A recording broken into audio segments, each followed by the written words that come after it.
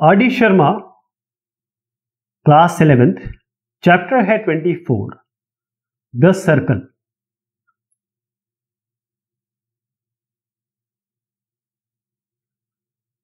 अब जो general equation है सर्कल की, हम जनरल इक्वेशन देख रहे हैं। ये कैसे बनेगी? आपको याद होगा, x minus H whole square plus Y minus K whole square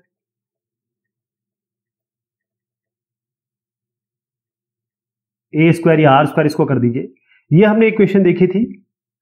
अब हम जानने की कोशिश करेंगे कि इक्वेशन जो मैं आपको बताने जा रहा हूँ, वो है X square plus Y square plus two G X plus two F Y plus C बराबर ज़ीरो ये इक्वेशन है सर्कल की, जिसका सेंटर है माइनस जी और माइनस एफ़ और ये सेंटर हो गया और रेडियस इसका है under root G square plus F square और माइनस सी तो ये कैसे बनेगा? इसके लिए हमें क्या करना पड़ेगा?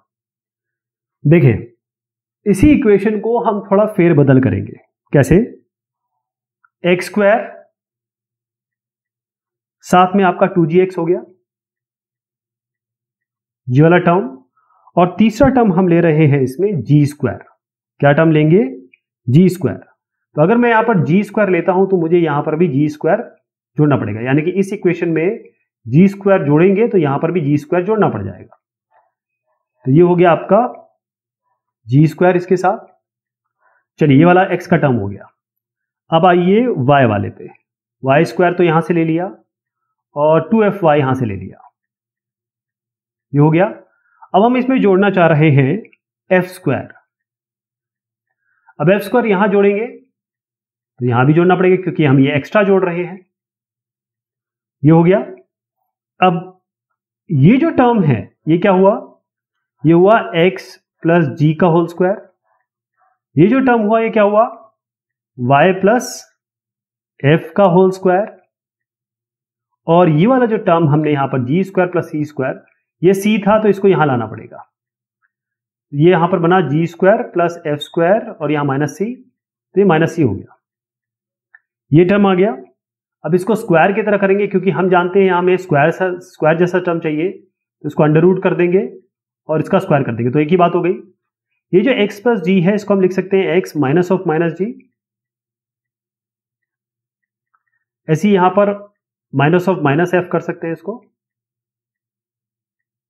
और ये बराबर हो गया G square plus F square minus C under root whole square चलिए, इस इक्वेशन को और इस इक्वेशन को आप मैच कराइए। क्या आपको कॉमन दिख रहा है? एच क्या है यहाँ पे? माइनस जी एच हो गया माइनस जी के क्या हो गया? माइनस एफ़ ये हो गया। ए स्क्वायर क्या हो गया? ये स्क्वायर हो गया। यानी कि ए क्या हुआ?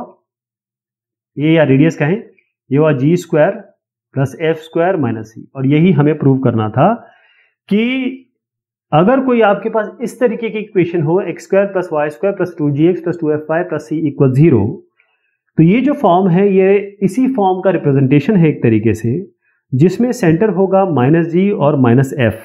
या आप ये कहें कोइफिशिएंट जो एक्स का है, उसका, ये कोइफिशिएंट एक्स का क्या है? टू जी है। इसको टू से डिवाइड करिए और माइनस कर दीजिए। यानी minus half coefficient of X इसी तरीके से माइनस एफ़ क्या है? यहाँ पर लीजिए टू एफ़ वाई। तो टू एफ़ वाई, इसमें अगर आपको ये कोइफिशियंट निकालना है तो टू एफ़ है इसका, टू एफ़। और टू एफ़ है और यहाँ ये माइनस एफ़ है तो इसको कैसे करेंगे? माइनस हाफ़ से मल्टीप्लाई कर दीजिए तो माइनस एफ़ बन जाएगा। इसका मतलब ये हो गया कि इसका जो भी आपका कोएफिशिएंट है वाई का, कोएफिशिएंट वाई उसका माइनस हाफ़ करना है। और रेडियस क्या है? ये। ए स्क्वायर ए स्क्वायर है ये तो रेडियस क्या हो जाएगा आपका?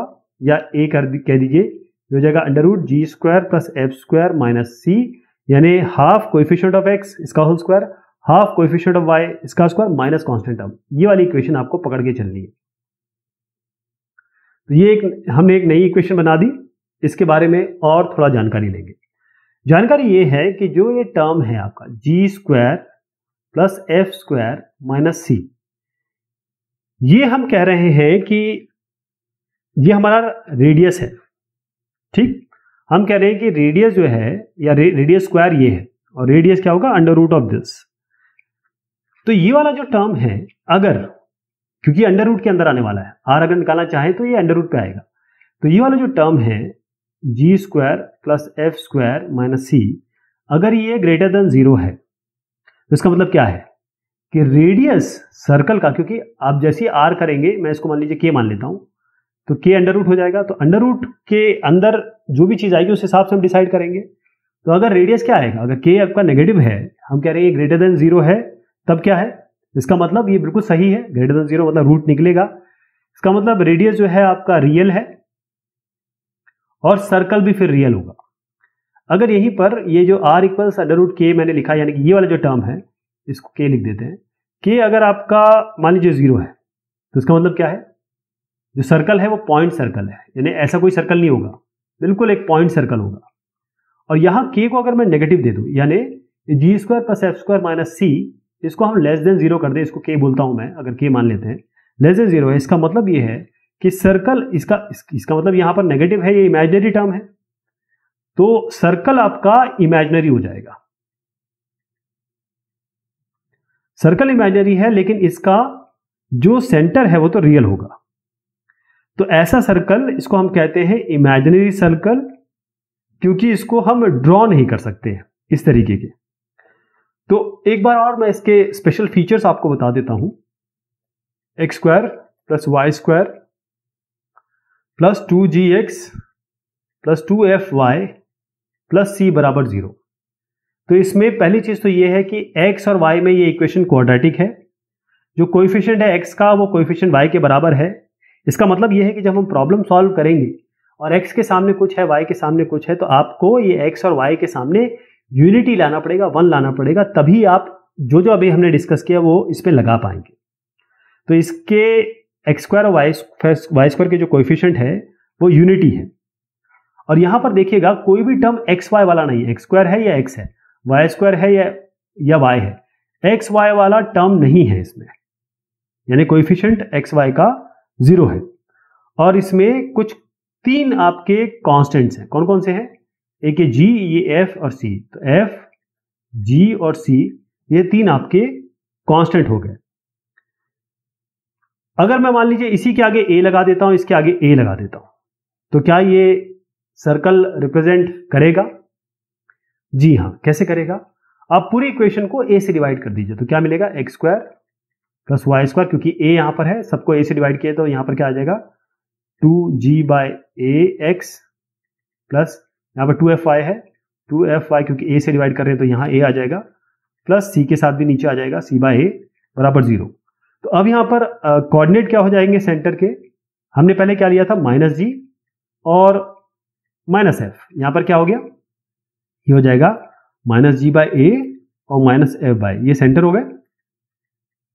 पीछे से कोरिलेट करना है आपको। और रेडियस क्या हो जाएगा इसका? आपको याद है G square plus F square minus C था।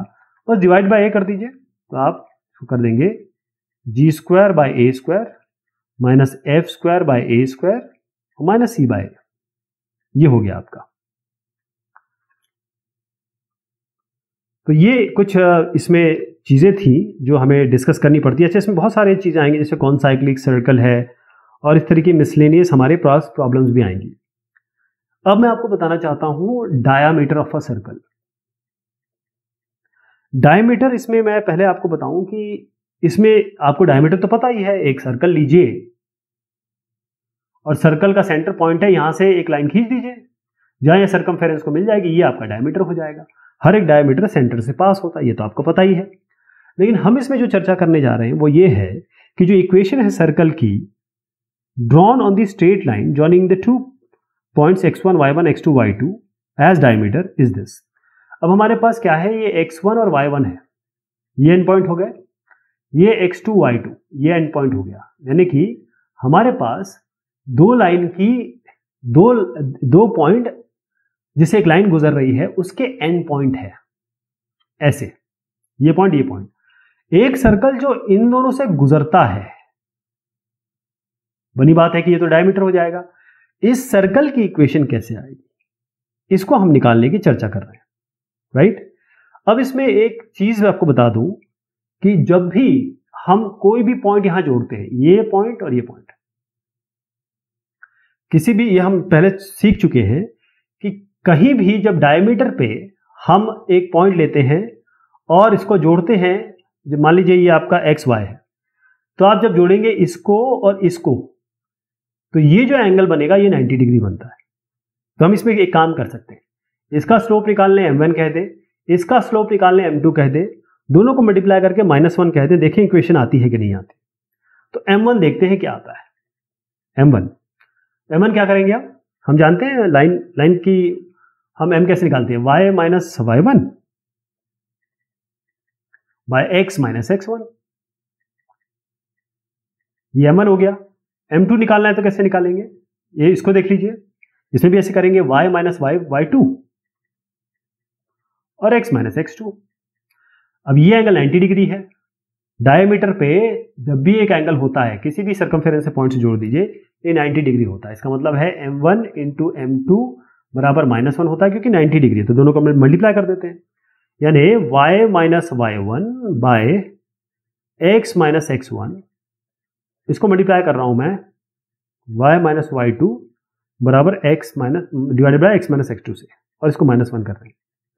अब ये जो डिनोमिनेटर है, इसको यहाँ ले जाइए। y minus y one y minus y two बराबर ये नेगेटिव में है एक्स माइनस एक्स वन यहाँ पर आएगा और x माइनस एक्स टू यहाँ आ जाएगा। अब इस माइनस को यहाँ ले जाइए। तो माइनस वाई वन, ये, या एक काम करिए, पहले यहाँ लाके इसको पहले लिखिए, क्योंकि x हमेशा पहले आता है। x माइनस एक्स वन और x minus x two plus y minus y one into y minus y two, बराबर ज़ीरो। ये जो इक्वेशन है, ये ऐसी इक्वेशन है सर्कल की, जिसमें x1 और y1 और x2 और y2 ये एक्सट्रीमिटीज हैं या कहें कोऑर्डिनेट्स हैं आपके डायमीटर के। तो ऐसी इक्वेशन बनेगी और ऐसे आप इसको सॉल्व करेंगे। क्लियर है ये? कैसे हमने किया? तो ये इक्वेशन आपको थोड़ी ध्यान रखनी पड़ेगी। तो एक, इसमें छोटा सा एग्ज़ाम्पल लिया जाए। इसको, इसका एग्ज़ाम्पल ले लेते हैं। एग्ज़ाम्पल कुछ इस तरीके से है कि आपको बताना है क्वेश्चन कुछ इस तरीके से है find the equation of a circle circle की इक्वेशन निकालनी है। Drawn on the intercept made by the line 2x x plus three y equal six between the coordinate axes as diameter तो इक्वेशन आपकी है 2x x plus three y equal six ये हो गया। अब ये जो लाइन है,